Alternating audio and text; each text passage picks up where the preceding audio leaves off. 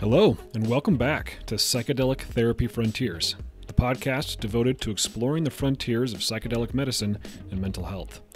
I'm clinical psychologist Dr. Steve Thayer, and today my co host, Dr. Reid Robison, and I are joined by Hannah Cross.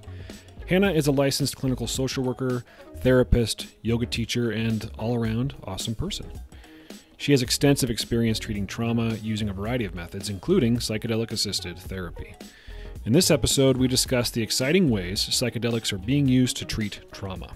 This is a dense episode. We get a little vulnerable, so brace yourselves, and thank you for listening.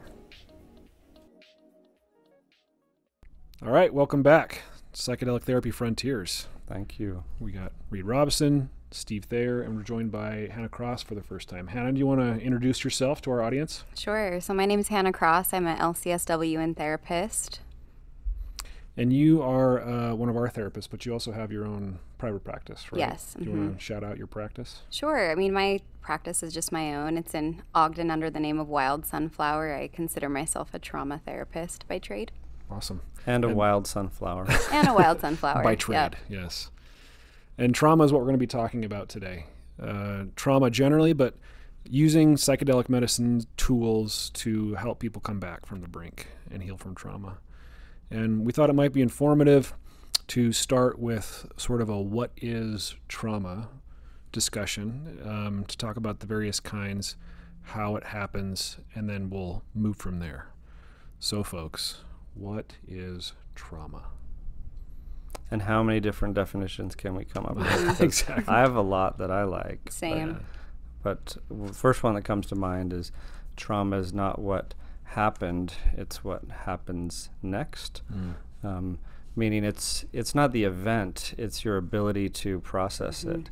And the absence of, say, an empathetic witness to help you hold that at the time. Mhm. That reminds me, you know, I started my career as a psychologist in the Air Force. I was an active duty psychologist, captain in the Air Force. And a lot of the folks I worked with um, who had been deployed, who had seen action, seen combat, um, not all of them develop what we would call post traumatic stress disorder, even if they had been exposed to what we would probably agree would be traumatic events. In fact, the vast majority of soldiers, Marines, airmen, sailors, Coast Guard members who are exposed to, again, what we might say is traumatic, do not develop full blown symptoms of PTSD. So it's not what happens, it's what happens next.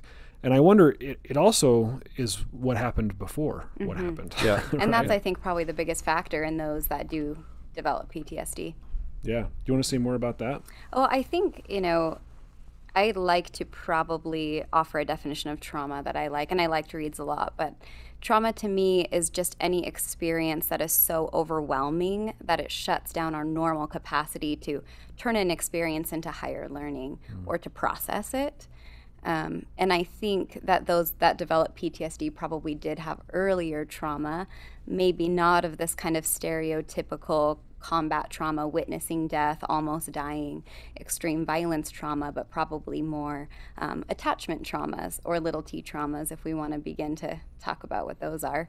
Yeah, so the little t trauma versus big T trauma, meaning little t might not be a sentinel event, it might not be a, a, a big, uh, like you were saying, combat, uh, a boundary crossing like a sexual assault or something like that, but it might be unmet needs when you needed them most. Uh, what, what we've heard called developmental trauma that you're saying might make you more susceptible to developing a mental illness in response to trauma later in life if you were to be exposed to a, a capital T traumatic event.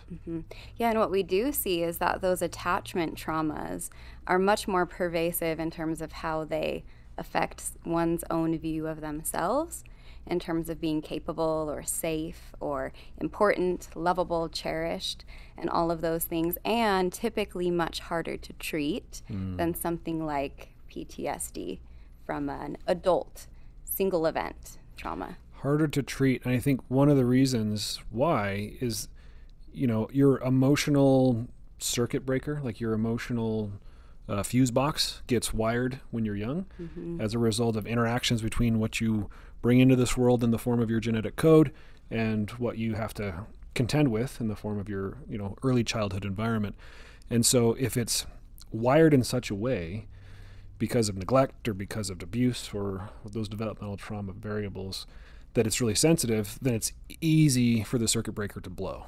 You know, for I mean, easy is relative, but uh, when you're exposed to something later in life that would traumatize one person but might not traumatize another. And it makes sense that it takes quite a while to heal from uh, a long-standing trauma occurring over time. Mm-hmm. Like I think it's an important point that's coming up that we do need to be patient with ourselves on the healing journey because sometimes it takes time. Mm-hmm. And like Hannah said, you can heal from you can focus on one event in therapy a little easier or quicker than we can a series of events, especially at a very uh, formative age in the bosom of the family. Yeah. You can't rush that kind of healing. In my experience, I think that that the need for that healing also makes itself known when it's the right time. And for some people, I would say probably for most people, it's not probably until their um, adulthood that they're able to finally look at some of those attachment traumas and understand them, gain insight around them necessary to heal it. Yeah, you need the right conditions of safety mm-hmm. and um, support to be able to do that work mm-hmm. and and be out of that environment in some ways. Mm-hmm. Right, because a lot of times in the process of healing trauma, what you're doing is you're linking the current safety and the current evidence that I am lovable, for example, back to earlier experiences that are kind of overshadowing the current safety. So yeah, we're getting into the how we might heal trauma. Do we want to back up a little bit because yeah. we all have a Let's lot of do things some we more definitions. yeah. I know we have a lot of things we want to say about how we go about healing it. Um, so we are talking about capital T and little t trauma. We're talking about developmental trauma versus, um, you know, some kind of large event that might happen in our adulthood that can trauma to traumatize and rewire us. Any other ideas about how we might define trauma? Well, I, I really like what Hannah added to it. Uh, we're adding layers to our definition here. If it's not what happened, what it's what happens next. And trauma is the inability of of the nervous system to process it at the time mm-hmm. because of the resources you have, like in or around you. And so trauma really is not the event, it's a nervous system situation. Mm-hmm like that takes you way out of your uh, window of tolerance, mm-hmm. um, and that uh, you know, and that is so variable but between people or among individuals. We were talking about those who go on to get PTSD. I think uh, I saw a paper the other day that said 60 plus percent of us had, have had a significant trauma, and the number could be a lot higher depending on how you define it. But only 10% of those go on to develop uh, formal PTSD per the diagnostic criteria. Mm-hmm. Mm-hmm. Yeah, PTSD as a mental illness is rare, uh, but I mean, it's compared to how many of us have been exposed to a traumatic event. Mm-hmm. So we all have trauma healing to do, mm-hmm. even if we're not meeting diagnostic criteria for PTSD. Right. Yeah, I like to say if you are born in a people suit, you have trauma. It's just part of mm-hmm. this life. Overwhelming experiences that result in rigidity, right? So, rigidity of thinking. So, thought yeah. patterns like, I'm not enough, I'm not safe, um, I'm not okay, I can't trust. But also rigidity in um, nervous system responses. Mm-hmm. So, reactivity, um, even dissociation can become a habit as a yeah. result of trauma. Uh, I like the rigidity point because it's also rigidity in the body. Like if you were punched in the gut, you're going to constrict your gut to protect your vital organs. And the same thing happens in tension in the body and in the mind. Yeah, we. I mean, you, you hear this book quoted often in reference to trauma, but Bessel van der Kolk's book, "The Body Keeps the Score." I mm-hmm. just love that title. Yeah. I mean, it, it teaches the title itself teaches a lesson mm-hmm. um, that we see so many clients with sort of uh, what's the right word? vague somatic symptoms. You know, my head hurts all the time, mm-hmm. my stomach hurts, I have uh, chronic fatigue or something like that. And um, while there might be physiological um, causes to these symptoms, a lot of times they're trauma locked somewhere in the body. Yeah. Yeah, we're all like pressure cookers in a way. I Mm-hmm. mean, there are lots of analogies for it, but you've got all this pressure, tension stored, and it's going to spill out in different ways if you don't let it out consciously through, say, shaking out in the fields if you're a wild animal, or or expressing it through movement, uh, writing, whatever that may be, that outlet is for you. It's going to come out in some other way, Yeah. um, whether it's mental or physical symptoms. Well, and it can be confusing, right? Because maybe as an adult, cognitively, you know um, that you deserve love, right? You might understand that concept. Like, yeah, everyone deserves love. I'm an everyone, so I deserve love. But your body, your Yeah. nervous system was trained when you were young, and it hasn't had a firmware update. And so it still thinks you don't. So there's this internal conflict. So you, you're constantly seeking love. But then when somebody shows you love, your body rebels and you get anxious in the presence of love. And so you self sabotage. And then then you're you know talking to your therapist about why do I keep doing this? Why do I keep defeating myself? Well, it's you've got these competing parts that uh, you know were uh, trained at different times by different things. Yeah, I first started to see that I think the most when I was working in juvenile justice services with these kids that just had so much neglect, um, so much attachment trauma. And you could be looking at them in the eye and be like, I love you. You're so awesome. I believe in you. And they just, they hear almost the opposite as a result of their trauma.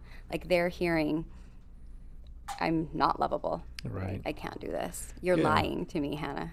Yeah, or their fight or flight system that was designed to protect them by evolution or God or whatever you believe is going off at the wrong time. You know, be, wrong meaning this is a genuine expression of love and affection from you, um, but because of like you described their trauma early on, it's it's signaling danger, danger. Yeah. Like this can't be true. Don't let yourself get sucked in. The wires got crossed. The alarm bells are ringing all the time. Mm-hmm.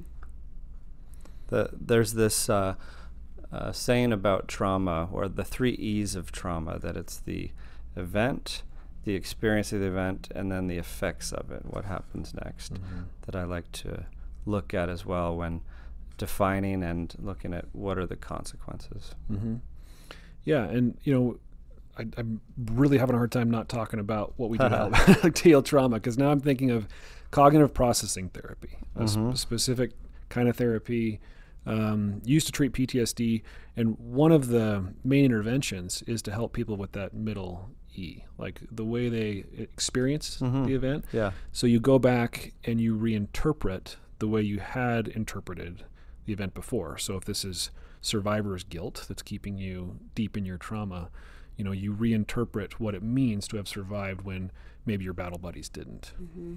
Yeah, I, I think the intervention of E EMDR will also do that. Um, just kind of organically, that happens in an EMDR session where someone will remember experiencing a trauma in this very narrow way, like very much laser beamed in on the distress. But as they begin reprocessing that trauma, there's this zooming out effect that you can see where they are now able to experience it or remember it in this way where they are able to go, okay, even though this was really distressing to me here, I still had these other relationships or these other experiences, let's say in, in childhood, that were really fulfilling or felt really safe. And so they, you know, walk out of that session having remembered it a completely different way, seeing the big picture of it. Yeah, helping them connect the dots. I think it was, it Steve Jobs who said that uh, you can only connect the dots looking back. You can't connect dots looking forward.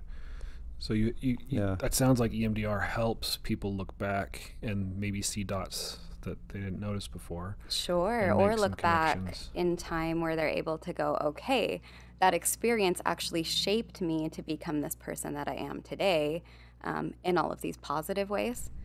Yeah. Giving some value to the trauma. I mean, that's, I know I'm skipping ahead to the healing, but We might just start want to start talking about it. Yeah, and you can't uh, you can't really separate it because you know it is a a journey, uh, a process of peeling away layers, and it's never really complete. We're always, you know, experiencing stress, trauma, shame, other wounds, and we're always doing more healing work. Um, and that narrative part of it is is key, I think, on the healing journey, uh, both in the mind and in the body, because we get stuck in this you know, trauma narrative or victim stance, uh, rightly so, to protect ourselves at the time. But then on the path, the path back to wholeness, it's a matter of rewriting that or that maybe a radical shift in perspective mm-hmm. that uh, helps you see it in another way. Mm-hmm. And I think having compassion for ourselves and for our clients who are working to shift that narrative is really important because, like you referenced, Reid, the the story as it stands has served a purpose, a kind of purpose, right? To protect them, even though it's been a pretty sharp double edged sword. So when you're trying to help them reinterpret what happened to them or help them sort of put down their weapons of war and let and allow themselves to be vulnerable again, um, we need to honor that that process could be very, very challenging and that they might not believe yeah. that they ought to do it uh, without some time. Mm-hmm. And just like in any parts work, um, you need to love and be compassionate towards that part of you that uh, created a wall to mm-hmm. s- protect you from those threats at the time. I mean, it's a it's a very intelligent system we have to protect ourselves from these traumatic uh, attacks that we get through life, uh, and our ability to heal through that inner healing intelligence or the taking down of the walls. Mm-hmm. You know, that reminds me, um, I was watching our colleague Adele France do a therapy session, um, a ketamine assisted therapy session. This was an integration session with somebody with a severe eating disorder. And she was working on this concept of this child part, this child self that uh, had developed this strategy to stay safe. And mm-hmm. it was restrict food intake, you know, it was be very, very self critical. And she coached the client um, to extend love and care and affection to this part and to tell her, hey, um, you don't have to stand guard anymore. Look around you. The war is over. That this part had, had been, you know, still holding tight to her weapons mm-hmm. and standing guard um, because she thought she was still fighting a, a battle that she needed to fight. Mm-hmm. Um, so having the adult higher self approach this younger part of her and say, I've got you you know, I love you. Thank you for your help, but you don't need to do this anymore. And it was powerful. It was mm-hmm. powerful yeah. work to watch. I think that's a good example of why it's important to integrate multiple modalities of therapy. You know, EMDR tends to go right to the target trauma. Um, and sometimes we need to maybe pull in another modality like IFS or some form of parts work to get permission from those protective parts to even go there. You know, I think I hear a lot of clinicians say that they you know they've tried EMDR and they just get stuck because these defensive sh- these defenses show up in the session. Um, it's important to work with those defenses, I think, first before we can get to the trauma we need to. If that makes sense. Mm-hmm. That's a good point. And different ways of working with those defenses, uh, including medicines. Sure. Right, like MDMA being the ultimate example, ketamine and others. But but uh, even with those, a lot of skill building and resources often found in the body to be able to go there or touch into that that uh, place of potential panic and distress um, and be able to self-soothe and do the work and go bravely into that uh, healing work right mm-hmm. and you mentioned MDMA and for our listeners who are interested in psychedelic medicine I assume that's why you're listening to psychedelic therapy frontiers um, you've probably heard the exciting results, phase three studies from MAPS, the Multidisciplinary Association for Psychedelic Studies, about MDMA, MDMA assisted psychotherapy for PTSD. Um, but remember, it's not just the MDMA. MDMA is not a panacea, it's not a miracle drug necessarily. Like Reid alluded to, there's a lot of skill building and a lot of supportive therapy. These people are getting how many sessions? 45 hours of therapy uh, with three MDMA dosing sessions. Exactly. So the MDMA itself allows access, and maybe you know we could each talk about what we know, because it's not. Uh, it's kind of this exclusive group of people that's that have been able to work with it above ground, and then a lot of really wise people that have worked with it below quote unquote mm-hmm. below ground for decades. But um, MDMA, as I understand it, allows uh, it allows you to access those parts, those protective parts, with fluidity, self love, understanding, and presence that is really, really hard to do otherwise. Mm-hmm. Am I kind of getting that right? Yeah. Yeah. It creates this safe container within and around you uh, to be able to go towards those negative affective states, those distressing places, traumatic memories, without going immediately into full blown fight or flight mode. Right. Right. It, it helps someone transcend the fear of that process. And neurologically, and you can correct me if I get this wrong, Reid. What what I think what we think it's doing is you've got this really unique mixture of neurotransmitters that, that aren't typically present together, the way they are with MDMA. You've got some oxytocin present with dopamine and serotonin. So you've got these like love neurotransmitters with the presence neurotransmitter and the desire for more neurotransmitters, all there uh, at once.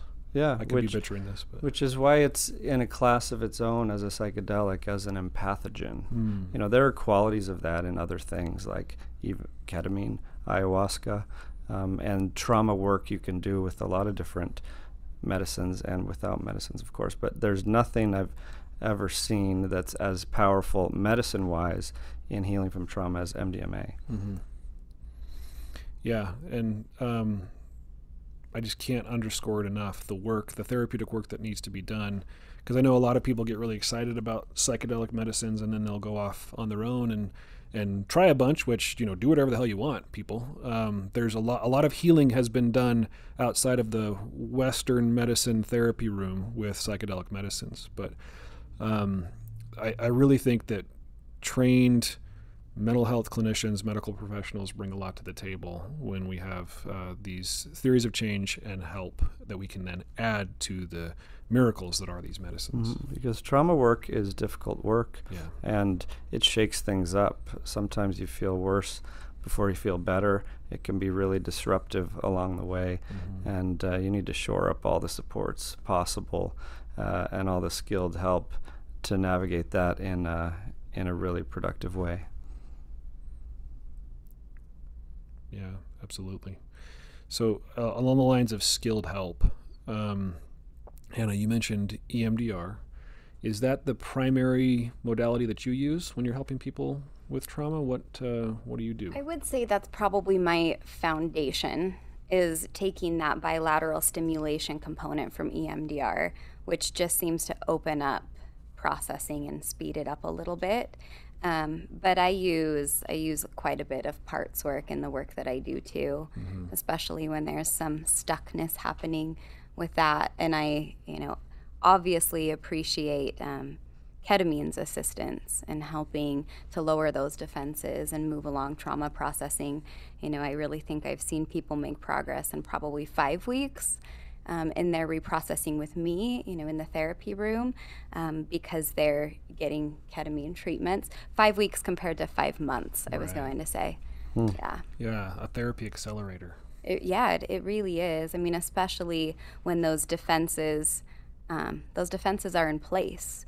It's really, it's hard to get to the wounds when all these protective parts, you know, they're they're the troops coming in to prevent someone from going where they need to go Yeah, I, for I- good reason.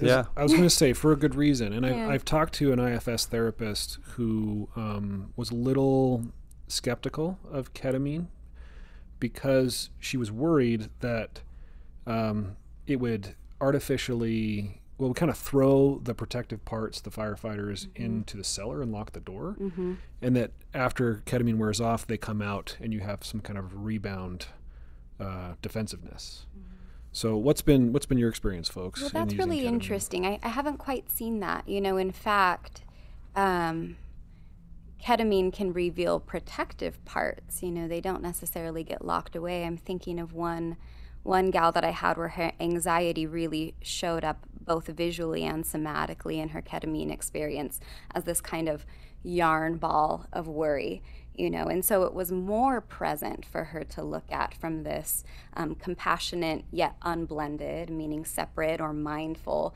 perspective. And then she could start a conversation with it and let her know i'm no longer a 16 year old pregnant in a really re- religious family. Like i don't have anything to be afraid of now.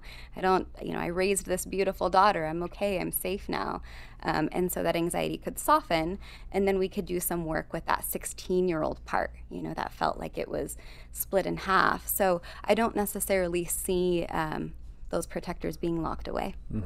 Yeah, you can understand where the question comes from, but I would agree these medicines create an expanded awareness and often help you see the parts. And the work, uh, once you get into it, um, not that complicated as far as like reparenting, loving yourself back to wholeness. But uh, you just haven't been able to go there yet, rightly so. And then once you can, and and once you feel that or experience that in an embodied way, then uh, that's a radical shift, mm-hmm. and that can be that can be very lasting. Just like we were talking about in the MDMA literature, you have the vast majority of participants in that recent study, just like the other studies, no longer meet criteria for PTSD, and that lasts six and 12 months later. Yeah, close to 70%. I mean, that's effectively a cure for PTSD. That just doesn't exist. F- yeah, it's an treatment. exciting uh, milestone in psychiatry, assuming that's this gets approved. It'll be the first medicine approved with therapy, for one, mm-hmm. but also the first uh, medicine uh, approved that's a curative approach instead of just treating the symptoms. Like, what do we have approved to treat PTSD right now? Like Paxil or mm. something like that. Mm-hmm. Yeah, I'd like to maybe give another anecdote to an answer to your to your question um, to kind of go off of Reid's. I think what you were saying is that if you can access that self energy, that compassionate place of openness and courage and safety that you haven't been able to get to before, and you come back to your protectors and they can your inner protectors, you know, your defenses, yeah. and they can see that in you, then they can soften. You know, so yeah. it's not about pushing them away. It's just about that those parts of ourselves that are um, more protective, um, gaining trust and and you know a true self. Mm-hmm. Um, I had you know one lady who um, she had lost her daughter. You know, and they were extremely close. Her daughter died in childbirth, and this client of mine was also a cancer survivor two times over, so lots of trauma. Saw her daughter die and then took over care of grandbaby. Mm. And this was, she came to see me maybe, maybe a year after this horrible thing happened. And she was coming to me because other people were telling her to go to therapy because she appeared numb right? So she had a very um, dominant numbing defense in place, and it was concerning to other people. You know, she hadn't cried once over losing her daughter. So she has a psychedelic experience during which she sees daughter rise above her dead body and say, Mom, I'm going to freeze you for the next year so that you can take care of my child. Mm-hmm. And immediately that opened up the grief for her. So she could go to that wound. She just started crying, but it didn't feel uncomfortable to her you know, to actually grieve here. And she didn't need that defense anymore. Mm-hmm. And so, you know, she wasn't pushing away the numbing, she required it for quite a while. But with the help of that spiritual experience, that psychedelic experience, that defense was no longer needed, and she could access the grief and process it, move on, no more depression, you know? Yeah. So it sounds like um, psychedelics, ketamine, psilocybin included, instead of hiding or suppressing, they are uncovering and revealing, right? They're revealing the higher self, as you call it. This um, goes by lots of different names, right? The inner healing intelligence, but um, and certainly you can use substances to suppress and hide from yourself. But in this therapeutic context, we're using these substances to help, like I said, uh, uncover, excavate, and, and reveal. Mm-hmm. Yeah, and I think the help of a guide can be really essential in that. I think psychedelics probably um, don't always necessarily reveal, but a, a, guide might help direct someone back into their body. Mm. Um, or even, you know, in another MDMA session that I've heard about, um, the participant could not feel um, her legs. So couldn't couldn't feel her legs, the guide kind of intuitively said, Where are you feeling energy in your body? She said, My whole upper body is totally lit up, but I can't feel my lower body. And then the guide was able to step in and facilitate somewhat like a, of a TRE. I don't know if you've heard of, of that kind of practice practice with her.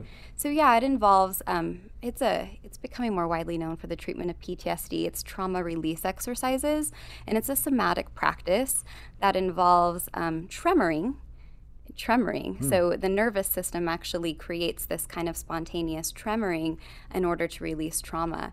So so during this particular MDMA session, the guide helped move the energy through to the legs by pulling in just a brief TRE experience.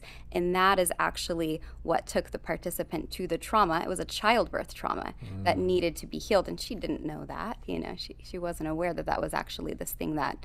Um, she had kind of locked away and was affecting her body. So I think psychedelics, yes, but especially with the assistance of a guide to reveal rather than suppress. Now that you describe that, I have seen video of that done with cannabis, actually. Yes, yep. More people are using it with cannabis. Yeah, and cannabis might, for some people, ac- actually spontaneously induce that tremoring response. Mm-hmm. It's a release of stress. This fascinates me so much. You know, my, in my early training, it was more cognitive behavioral. So I, uh, we were talking before we hit record. Like I'm very much a cerebral person, um, sort of disconnected from my own body. But now becoming, as I've developed an interest and some expertise in psychedelic assisted therapy, so much more interested in the somatic work and how body gets locked in our body, or how body, how trauma gets locked in our bodies and in our nervous systems. I was talking to a um, a body worker, a massage therapist, who said that commonly they have the experience where they're working on a person, they'll find a place, this nexus of tension, and as it releases, there's an emotional purge. The person just starts Yeah. weeping on the massage table. We see that in the yoga practices as well. You know, uh, you're a yoga teacher as well, aren't you? And Yep. uh, you see that. You know, I, I remember hearing people talk about how emotions get trapped, or and you don't really experience, you don't really appreciate it until you see what can happen as you release tension in different parts of your body, like. Um, you know, whether it's the hips or the psoas or wherever you uniquely hold tension, it can be so liberating to approach it from the body, which is our vehicle for ex- experiencing the world. Yeah. When you said wherever you hold tension, I just my shoulders just dropped a little bit. If there's this guy on TikTok that every time I swipe and he shows up, I'm like, oh, it's this guy. I love this guy. And he, he starts every little TikTok with like, you know, hey everybody, and it's something like relax the flesh around your eyes, drop the tongue from the roof of your mouth, which is some, a cue that I had never heard before. But then I was Yeah. like, you know, opened up my palate. I was like, oh yeah, that's actually kind of relaxing. I have so much to learn. You guys need to teach me. You hear that in yoga a lot, the the tongue and the palate one. Really? Is that a vagus nerve thing? Maybe. I'm just making shit up. I don't know. Yeah, I Yeah. don't know. But it but it certainly is something that, you know, just directs your awareness to something in the body that maybe you weren't connected to. I've had yoga teachers tell me to, Hannah, your face is not helping you do this posture. right? I'm like Yeah. facial expressioning into a posture. But I I am notoriously one of these store emotions and experiences in the body. Um, type people, uh, very much so. So I will go to the doctor and get all the tests run because I would like to know why I'm having these stomach aches, and it would be nice if there was like a quick fix kind of thing I could take an antibiotic for. But um, in my experience, most of the time, it's like, oh, this is grief, you know. And massage and yoga and Reiki have helped me personally access that. There's this phrase I like from this book called "The Search for Serenity." It's a it's an addiction recovery book, but um, it's called. It's a, there's a chapter called "Barometers of the Mind." Like our body is a barometer of what's happening in our mind, and I've, Yeah. Found that to be totally true for myself. I think yoga is probably the best way for me to access that. There's this one yoga teacher in Ogden who gets me every time where for whatever reason, the space, the container that she creates and the series that she sets up, almost every time in Savasana, the tears come. Um, and it's like, um, here's an openness for me to kind of hold a hurt part of myself. Yoga can definitely create Yeah. that.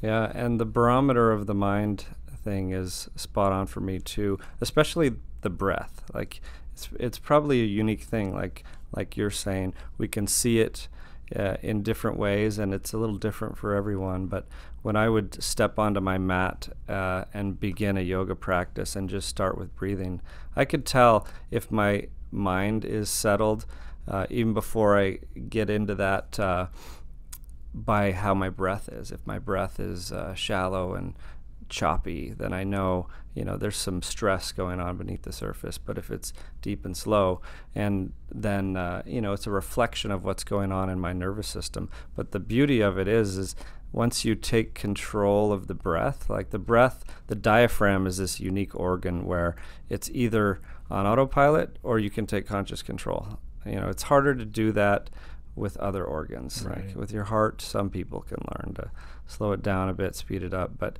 but if you take control of your breathing, it's like the brain, the brain's remote control. Uh, you start breathing slow and steady, and sh- everything else uh, follows suit. Mm-hmm. Um, so it's it's an amazing uh, kind of window into those uh, what's going on in your nervous system. Reminds me of those studies they did with um, fa- the connection between facial expressions and emotion. So they had Yeah. participants hold pencils in their mouths, either um, elongated so that they're we're mimicking a smile motion. They didn't tell them to smile; they're just flexing the muscles that are normally involved in smiling by holding this pencil, or by holding an eraser first, so that their you know lips are pursed. It's more of a, a frown motion and then they had them rate their moods and there was a correlation you know when they were flexing the smile muscles they generally felt happier Yeah, because it's you know the form matters. The, this whole embodied approach to healing from trauma is a big deal, and in my opinion, is a key resource to use in the healing journey. Because if you take on the position of depression, your mood will follow. Or if you like imagine yourself stepping into a superhero suit or in a powerful stance you feel that way and you know we do that with our clients uh, to illustrate it and it's uh, it's striking and that means we have at our disposal this resource to be able to uh, tap into to access whatever it is we need in the moment for uh, resilience or for strength. So there's a good reason why we recommend things like meditation yoga exercise as integration activities. When people are, have completed ketamine therapy um, you know we, we have another episode by the way if you want to look at our website on integration of a psychedelic experience but um, it, it it really it sounds like correlates and coincides with this body focused approach Yeah, I'd like to throw out another modality of a body focused approach that I love and trance dance. Have either of you done a trance Yeah. dance before I haven't- blindfolded? I haven't done it I've heard about it So I've been facilitating them, oh, and cool. yeah, and it's a blindfolded experience, which helps because there's this sensory deprivation aspect where you can really connect with what's going on in here, and then you're also not having to deal with the insecurities of people seeing you move. Um, but it's it's so beautiful, just like with psychedelics, that same kind of inner healing intelligence shows up for people when they're in this trance state, listening to their body's impulses and then honoring that through movement. So I kind of frame it like it's this is your chance to become friends with your body. You know, mm-hmm. open up this line of communication between you and your body so that you can honor it as it's telling you how it wants to be expressed. Mm. And there's usually a pretty powerful emotional release associated with it, um, as well as even some, you know, visuals or experiences of accessing parts. I had one girl recently that shared that the whole time she was just a little girl and she was like, mm-hmm. You know, playing, and she was hiding behind these columns in the room. There were no actual columns in the room, and kind of peeking out behind them. And it was cool for her to access that. Her intention, by the way, was to create more playfulness in her life. And you know, that may have come from uh, the time in her life when she stopped feeling able to freely dance and express herself. Because we see that so much in helping people heal from trauma or from eating disorders or whatever it may be. It's just our society all too often creates these conditions of kind of fear and shame where we lose those creative, joyful expressions. And uh, it's amazing to see them come back when you create the conditions. Like so many of us are f- afraid to dance in this culture. Uh, not not everyone, but it's. I love seeing like in an ecstatic dance type situation where the right uh, ground rules are laid out, where you're not going to feel judged or as scared, and you can finally tap into that. It's amazing to see people light up uh, when they've gone back to something they've lost for decades. Man. Right. And Like- we might also talk about um, not only the joyful impulses that we've suppressed, but also the appropriate expressions of anger that are often suppressed through Yeah. trauma, right? So, a lot of times, the impulse at a time of a trauma, let's say, was one to set a boundary. I needed to set a boundary, but I couldn't because I was too afraid. And so I suppressed that urge to do so. Maybe that urge was to hit. You know, somatic experiencing as a therapy modality asks someone to finally honor those impulses that were suppressed at a time of a trauma mm-hmm. by inviting movement, like conscious and mindful movement, to release those urges. And this is different than just pure catharsis, right? I know that some of the research around catharsis treatments, where like you're just going to scream into this pillow, or uh-huh. you're going to go to a room and break dishes, suggests that it it doesn't really lead to long term, like really really good long term outcomes. Just the just the cathartic purge of energy.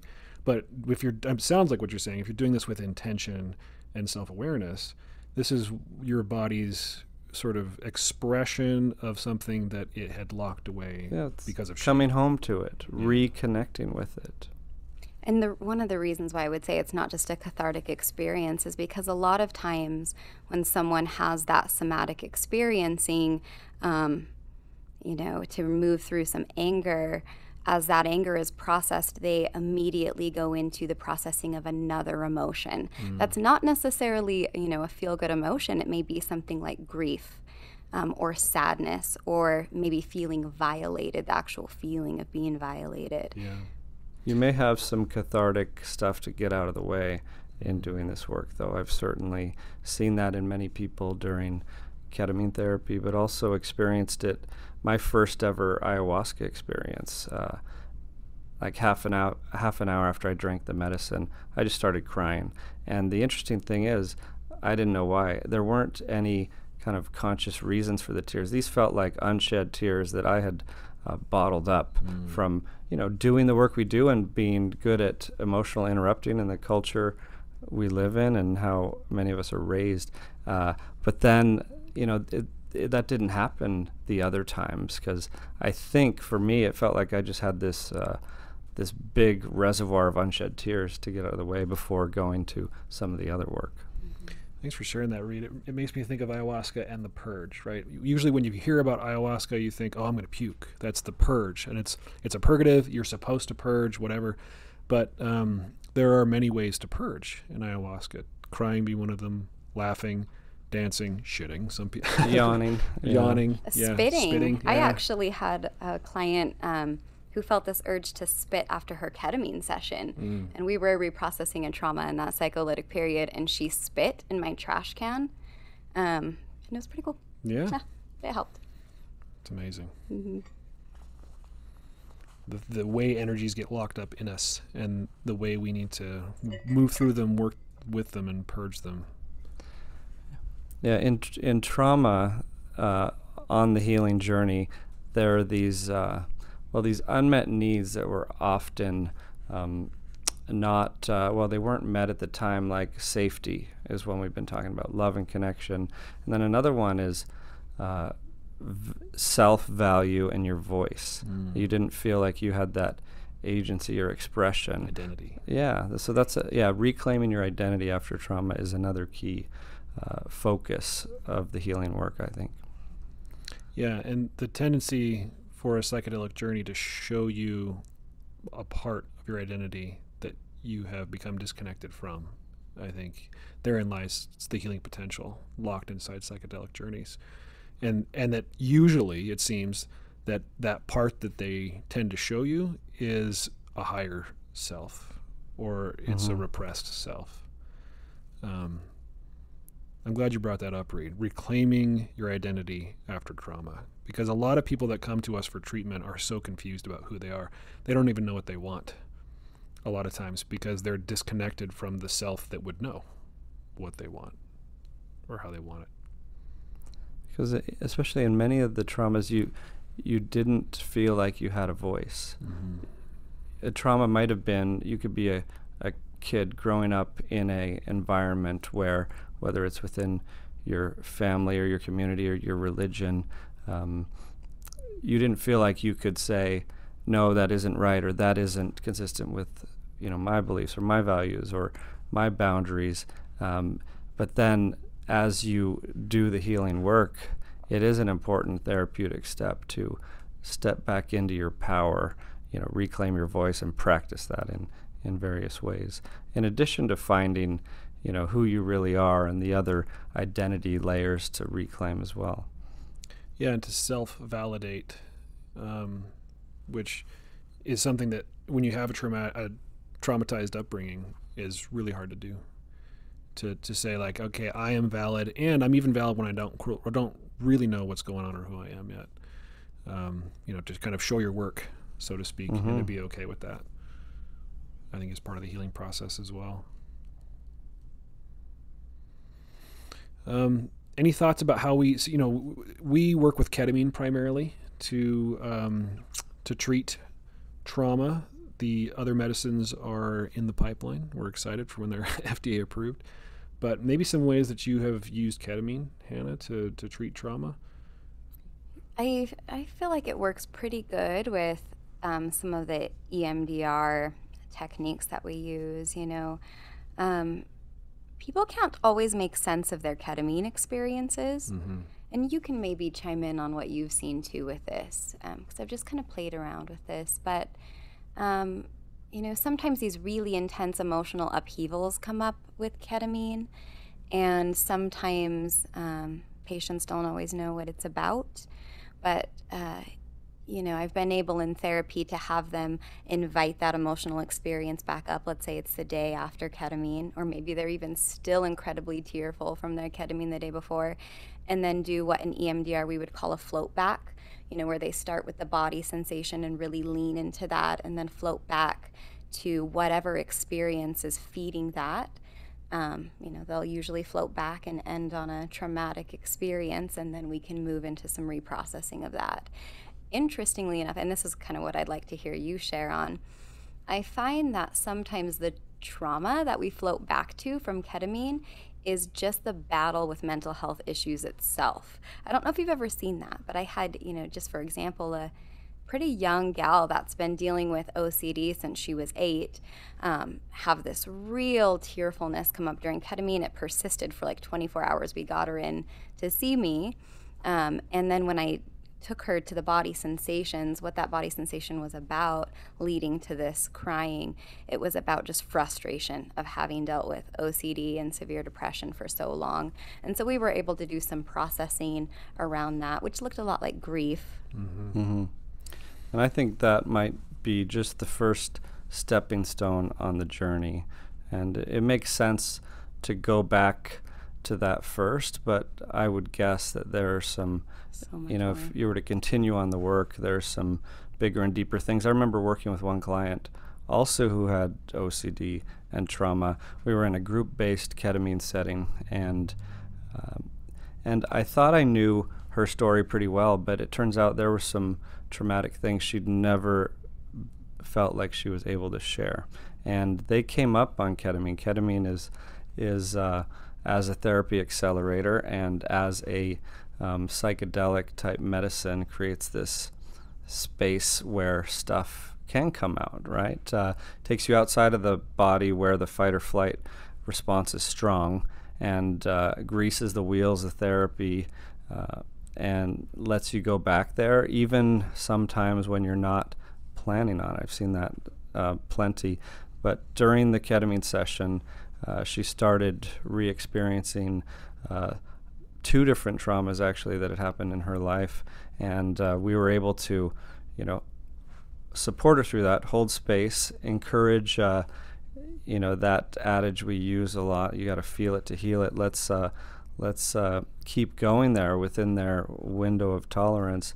And it was amazing what happened next, having been able to talk about uh, not just one, but two big, significant traumas uh, for the first time in her life that she was. I remember sitting with her the next day, uh, saying, "Do you uh, do you remember, you know, this part of the session?" And um, and she had had uh, some recollection. You you could tell she was embarrassed that it came up at first, but then so liberated too. I could see it in her in her eyes, hear it in her voice, and in her posture that she had just uh, shed these big rocks that she was carrying around in her backpack for so many years uh, because uh, ketamine was able to facilitate uh, her retelling of that.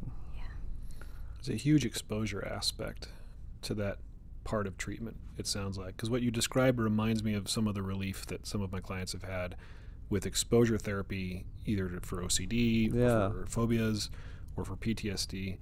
And ketamine helps. It sounds like people take a step in outside of the comfort zone into that fog of pain um, that they've been bouncing off of. That's Yeah. kept their comfort zone really small. Um, that it would be really hard to do otherwise. Yeah. So, th- so I think, uh, like like you pointed out earlier, you do have to work hard with the intentions and the focus and the skilled therapeutic support to go into the trauma work uh, in the right places and the right steps. Um, uh, but uh, it is a powerful medicine in kind of, facilitating that work um, and letting it come up in a safe way. Yeah. Yes. Yep, I had a client that I had worked with for a year with very little progress, trying to plant some seeds of maybe look into this ketamine therapy. And she finally started doing it. And I just knew in the back of my mind, I'm like, I know you have early childhood trauma. Um, you don't feel like you're a burden to your family at age 30 for asking, you know, for a small favor from your parents and have that lead to this severe debilitating depression there has to be something there her very first ketamine session took her there mm-hmm. to the childhood trauma and it was like yes Yeah. Yeah. so Yeah, it's I a great tool I had had a client come out of ketamine bawling his eyes out, and this is the first time I'd seen him cry, and he just kept saying, "I can't stop crying, and I don't know why." Like, so ketamine brought him to his feelings, but it didn't necessarily show him why they were there. Mm-hmm. But he hadn't been able to touch the feelings yet in therapy. that's that reservoir of sadness that you Yeah. were talking about Yeah, and, and you were asking about how to approach the the work with trauma and ketamine in particular, and I think that's a big part of it. A couple things come to mind is one is reconnecting with your emotions that have become confused or numbed out through the course of uh, you know out of necessity uh, because of the trauma, stress, and other wounds. And then the other thing is uh, we have a chance in ketamine assisted psychotherapy, we have this honor and opportunity to help with corrective experiences. Going in and uh, showing someone that it's okay to feel, to cry, to take up space, and to ask for help. And, and having them experience that in little ways can lead to like big shifts and positive changes in life. Yeah, uh, I know. So uh, my first ayahuasca experience uh, was very much that a corrective experience of that type, where I was. Um, they had a quiet room reserved for people who might be a little bit disruptive, and I remember going in thinking, "Oh, I wonder who the poor bastard is. They're going to stuff into the quiet room." Well, guess who? guess who went into the quiet room? Because not that I was like wailing and stuff. I was actually uh, having a very pleasant experience. I was just very vocal and, and loud about it. and I remember after ceremony starting to feel self conscious, like, oh man, I must have been super annoying. I probably disrupted other people's experiences. But to have everybody be so loving uh, toward me afterward, Sure. and some, it just it was a corrective experience knowing that I could step into a vulnerable, kind of in your face version of myself, and um, run the risk of maybe putting some people off, and it would be okay. And that was tremendously corrective, as Reid says. It was healing for me to just have that experience, not just to think that it's possible, because I could have convinced myself, you know, some part of myself that that's possible, but to actually live it was was huge. Right. I think about that as almost this redeveloping, where we had trauma in critical phases of development, psychedelics, and that um, nurturing through the guide, nurturing through community in ayahuasca, or even, you know, if someone is processing a strong emotion of aloneness, being able to hold themselves through that in the psychedelic experience helps them redevelop um, with their needs met. Mm-hmm. I like that redevelop.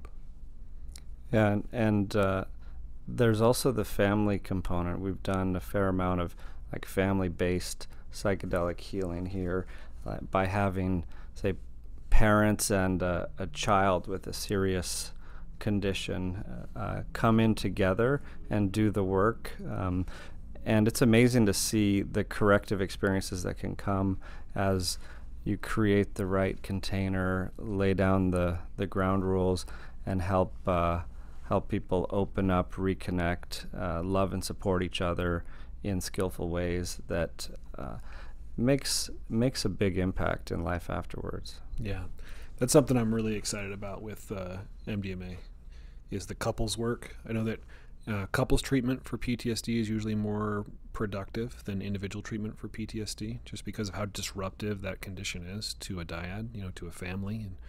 And um, but yeah, I'm really looking forward to being able to use that medicine for that purpose. Yeah, I was talking to some of the MDMA trainers, supervisors who have been working with the medicine a very long time, back to when it was legal and used in couples therapy. And uh, mm-hmm. uh, I remember one of them said to me, uh, MDMA is the best medicine to work with because uh, it makes you feel like the most amazing therapist, and you don't have to do much other than get out of the way of the medicine, hold hold safe space, uh, and let the medicine and the inner healing intelligence work its magic, mm-hmm. um, including in couples work that can be tricky. Really tricky. I, I, I can't help myself. I wa- I was been watching Rick and Morty, mm-hmm. really bizarre cartoon. I love it. It's a good one. Um, and there's a couples therapy episode that I just watched last night. It's it'll take too long to describe, but it's just a shameless plug for Rick and Morty if you want to go look. Put it in the show notes. yeah, I'll follow the link to the show notes.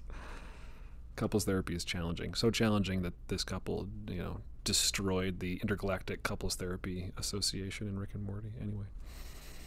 It could happen. Yeah. Tread, did some MDMA. Tread carefully. Yeah, tread carefully.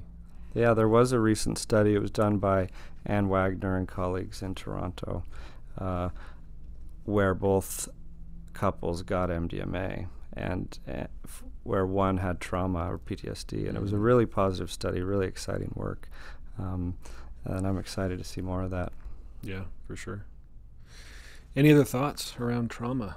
that you folks had in mind that you wanted to share with our delightful, benevolent audience? We could probably do a whole other episode on Rick and Morty. Trauma mm-hmm. part two. Trauma part two. It's there's there's no end to things to talk about. I mean, we all carry around varying degrees of trauma. I know I sure do. And trauma work as a therapist is some of the most rewarding work, but it's also some of the most draining work for me. Um, just because it's you know, it's most of us get into this profession because we give a shit about people, and mm-hmm. Um, to do good trauma work, I think you have to to join with people. I mean, of course, appropriate psychological boundaries and everything.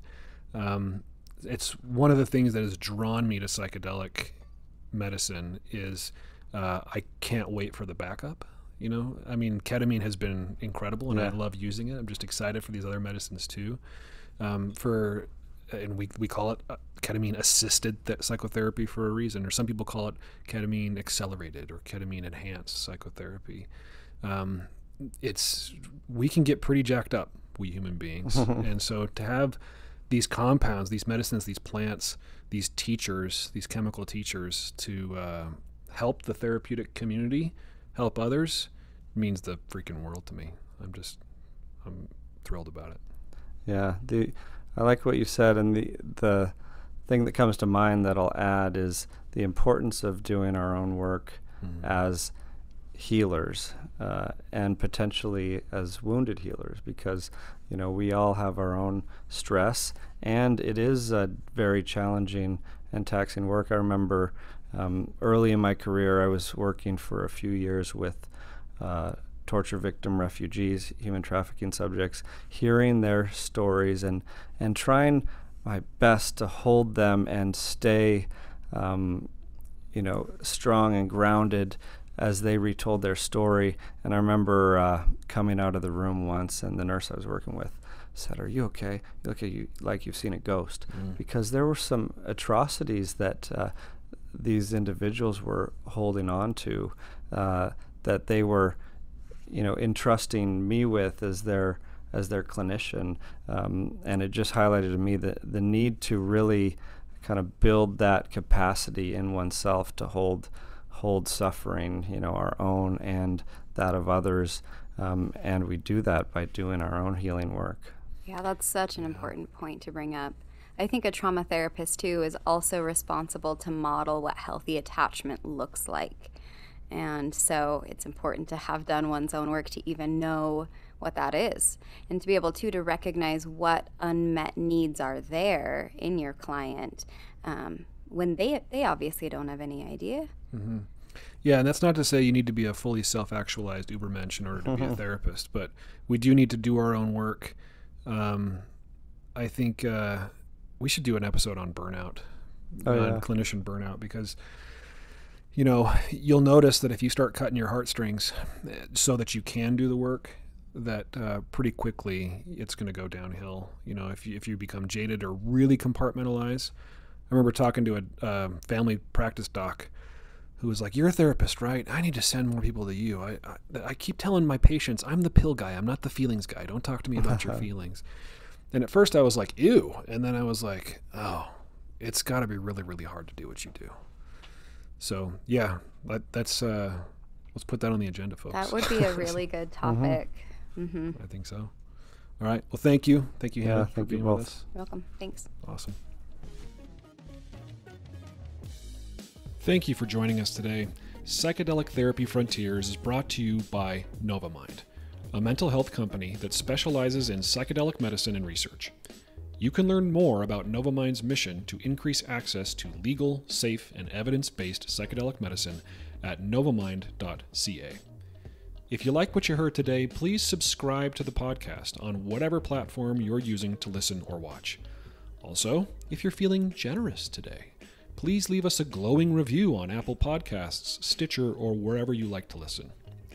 This will help us get into the ears and faces of more people and help us put wind in the sails of the psychedelic medicine renaissance. Thanks for listening.